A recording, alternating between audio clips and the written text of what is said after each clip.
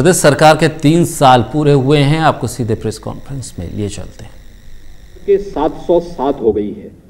हमने नगरीय क्षेत्र में सुविधाओं को और आगे बढ़ाने की कार्रवाई को तेज़ी के साथ इसको आगे बढ़ाया है और मुझे बताते हुए प्रसन्नता है कि 10 स्मार्ट सिटी भारत सरकार ने चयन की थी।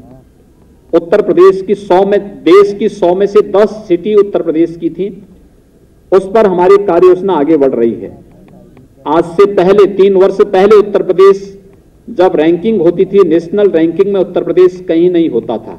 और आज मुझे बताते हुए प्रसन्नता है कि अभी भारत सरकार की 100 स्मार्ट सिटी की रैंकिंग जब आगे बढ़ी तो टॉप 10 में उत्तर प्रदेश की चार सिटी आई हैं। उसमें आगरा पूरे देश के अंदर नंबर एक पर आया है।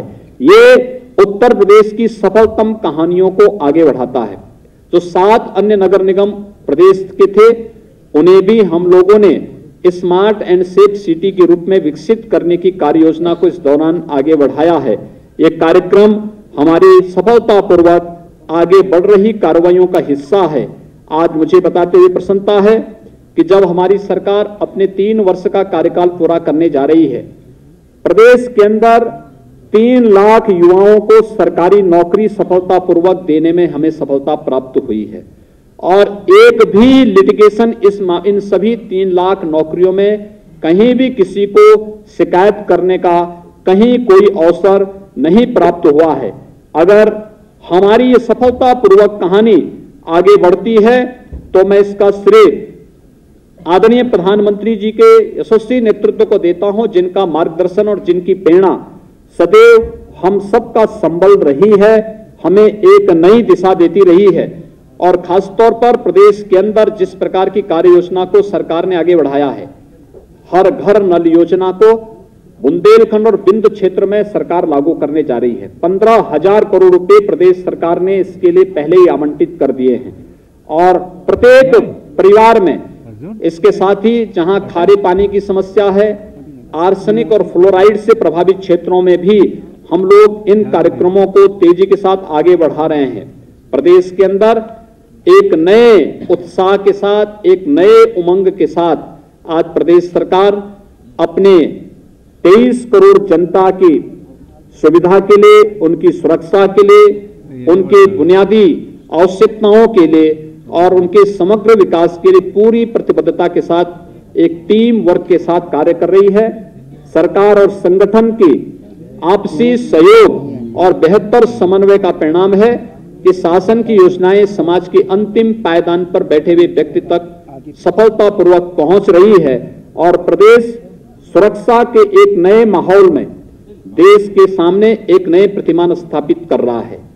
कश्मीर में धारा 370 को समाप्त करने की कार्रवाई हो या अयोध्या में श्री राम जन्मभूमि से संबंधित ऐतिहासिक फैसले के उपरांत प्रदेश के अंदर सुरक्षा का जो बेहतर वातावरण देखने को मिला, या वर्तमान में भी प्रदेश के अंदर तमाम सम विषम परिस्थितियों के बावजूद भी प्रदेश की कानून व्यवस्था और प्रदेश की सुरक्षा के बेहतर वातावरण को बनाने में जो सफलता प्रदेश सरकार को प्राप्त हुई है, ये टीम वर्क का परिणाम है।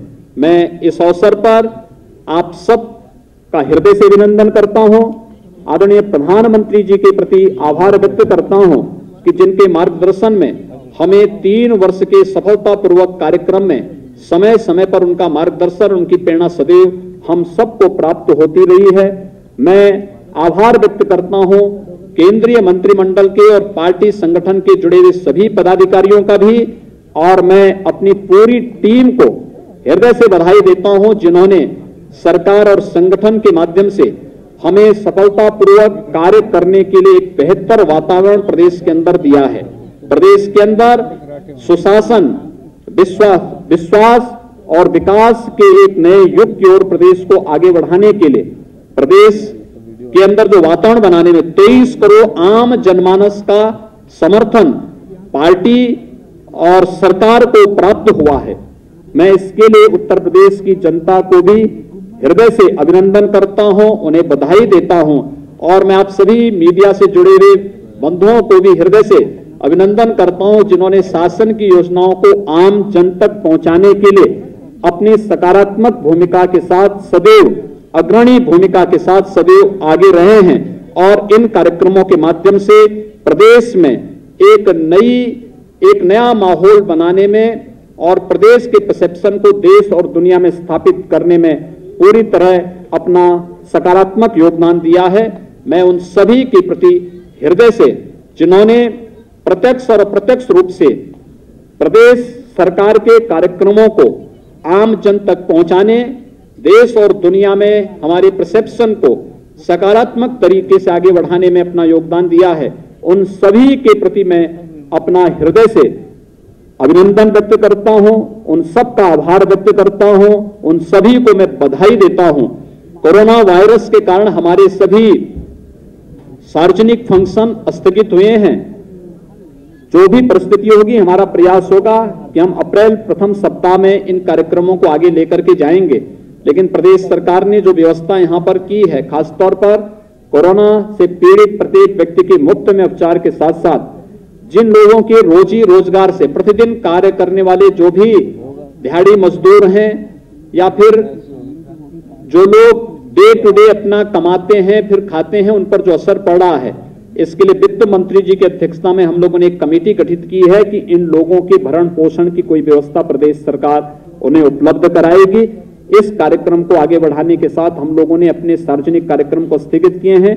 आप सभी आज के इस महत्वपूर्ण पीसी में उपस्थित हुए हैं। मैं आप सबका हृदय से एक बार फिर से अभिनंदन करता हूँ। तीन वर्ष के शानदार कार्यकाल में आप सबने जो सकारात्मक सहयोग किया है, इसके लिए मैं आप सबके प्रति भी आभार व्यक्त करता हूँ। धन्यवाद। जय हिंद। मैं माननीय मुख्यमंत्री जी का विशेष धन्यवाद ज्ञापित करना चाहूँगा। मैं डिप्टी सीएम मौर्य साहब का, शर्मा साहब का, सुनील बंसल साहब का, स्वतंत्र देव जी का आदरणीय सुरेश खन्ना साहब का, अपने चीफ सेक्रेटरी साहब का, डीजीपी साहब का और शशि गोयल साहब का धन्यवाद ज्ञापित करना चाहूँगा। मैं विशेष रूप से प्रेस का सर विशेष धन्यवाद ज्ञापित करना चाहूँगा और मैं सूचना विभाग की ओर से इस बात को ज़रूर कहना चाहूँगा कि जिस प्रकार हमारी प्रिंट मीडिया ने और जिस प्रकार हमारे टेलीविज़न की मीडिया ने हमारा सहयोग सूचना विभाग का दिया है, हम सूचना विभाग की ओर से डायरेक्टर साहब की ओर से हमारे सभी